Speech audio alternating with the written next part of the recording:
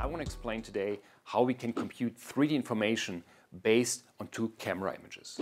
So assume you have two cameras which observe a scene. You can compute 3D information about points in the scene that you see with both cameras. That's very similar to what we as humans do with our two eyes. Our two eyes observe the world, sending images to our brain, and our brain does a very good processing of this information and can estimate where are points with respect to us.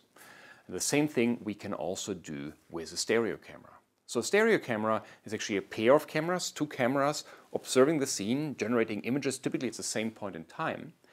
And the main thing we need to know are so-called corresponding points. So things that we see in um, image number one should also be visible in image number two. And we assume to know which points correspond to each other.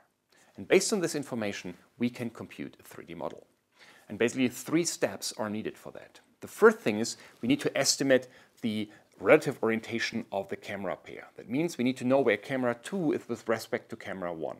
Sometimes we have that information given, then our life is easier, otherwise we need to estimate that. And we can use techniques such as the 8-point algorithm or the 5-point algorithm to compute the so-called essential matrix, which encodes us where camera 2 sits with respect to camera 1. So camera 1 typically defines the reference frame, and then we have the second camera, um, which describes how this camera oriented and where it is looking to with respect to camera 1. And we can get this information purely out of those corresponding points. There's actually a second video explaining a little bit more how that works. Then, once we have that relative orientation, so we know where camera 2 sits with respect to camera number 1, we can perform triangulation. Triangulation means we are virtually shooting rays from the projection center of our two cameras through the image plane, through the pixels of a corresponding point, into the 3D world. And where those rays intersect in the 3D world, there's the point that we want to compute. In reality, however, those rays typically do not intersect. There's noise in the process, we may not be able to nail down our corresponding points precisely, maybe there's an error in the relative orientation of our camera, so those rays in the end will not intersect in the 3D world. So what we do is we basically compute the line connecting those two rays and take the shortest connection between them and then go directly in the middle of this line.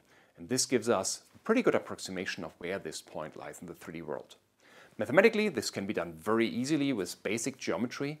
We just need to um, set up two line equations in 3D and then define a third line connecting those two previous lines and make sure that the third line is orthogonal to the other two ones. And then we basically need to solve a system of linear equations, two equations, two unknowns, and once we solve them, we can compute the 3D location of that point. And we basically repeat this for every corresponding um, point in our camera images. With this, we obtain a 3D model about the world, the so-called photogrammetric model.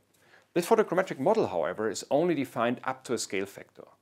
We could basically move the cameras further away from each other, which is equivalent to scaling up and down the scene. And um, as we cannot determine the scale based on the um, 5-point or 8-point algorithm, we either need to know that, then we already have the scale, or we need to align the 3D model that we computed, which has a scale ambiguity, and relate it with an external reference frame. So we can relate our 3D model with an external um, reference frame, let's say the GPS frame, for example. And so what we need to know for that is three points in our photogrammetric model, so three points that I've observed in my camera image.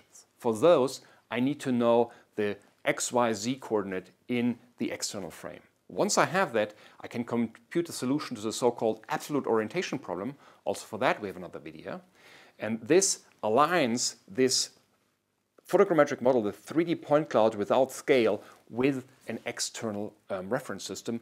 And as a result of this, provides us a full 3D model in this external frame.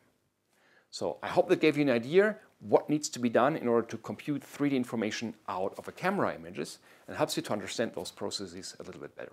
Thank you very much for your attention.